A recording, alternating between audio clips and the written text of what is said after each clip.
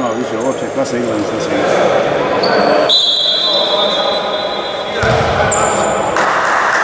Sutra u 7.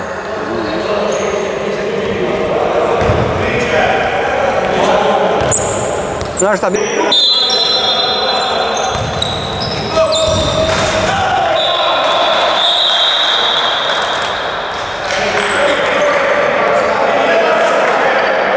i sad 9, 11 i ti fino snima. kill.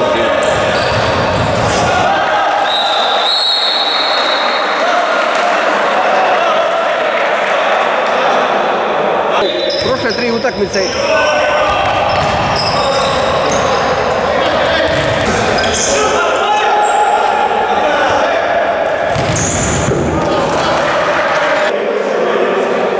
Kad sam to snimio, onda sam ugasio, šta će? Igra Mile za Binice, još igra.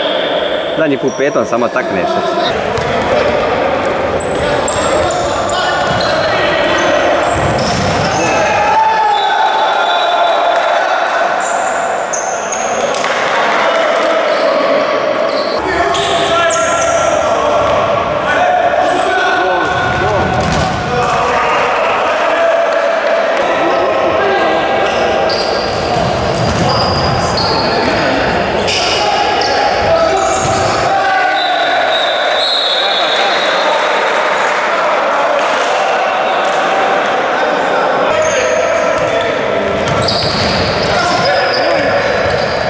pra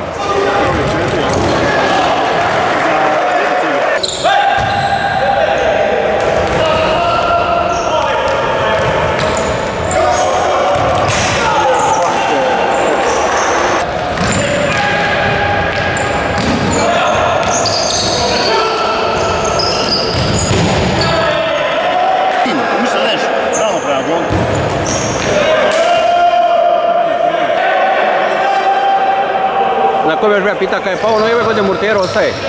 Ja goriš.